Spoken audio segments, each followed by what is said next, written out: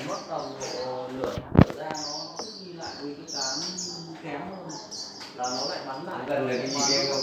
đây rồi Cái này có cẩu có sao con cả đâu nó Bên đấy thì có mà nhiều đồ tìm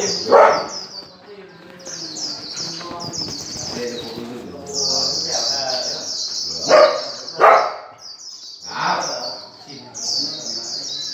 nó là có cái rừng dẻo À Cái nào mới thích. Con là cùng đấy Có con mới vậy kìa. Đâu anh, chú anh gửi thẩm con đấy trở lại nuôi đấy. Được Được mà. Đi xe tốt.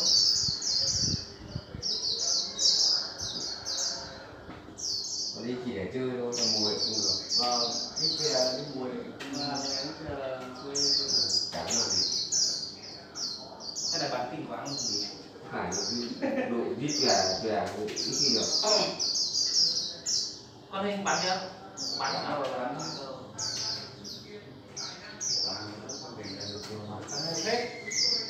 Ra cái thời điểm này là nó đang bị nắng gắt rồi khi bắn sẽ sập vào nếu mà chơi làm như này nó được tầm sáng thì buổi tầm trưa nó còn thời tiết.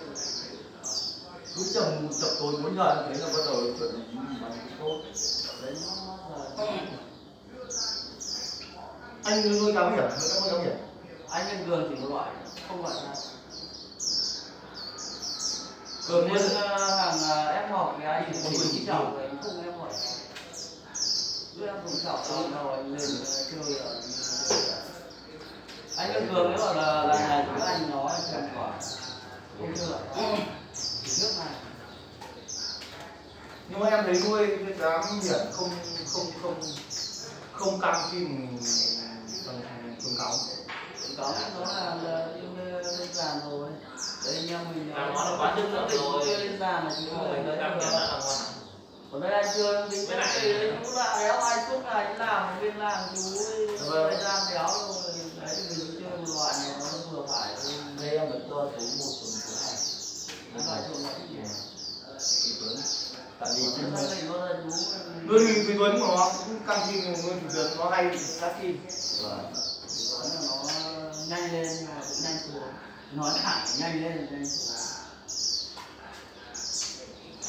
con này ở nhà bán rất ghê từ hôm đến quán mà hạ cám mà. Cái chú ngày nào biết quán này chú ấy chú nó đông người chú vất rồi quăng quật đấy xong nó quen rồi theo tự nổ ấy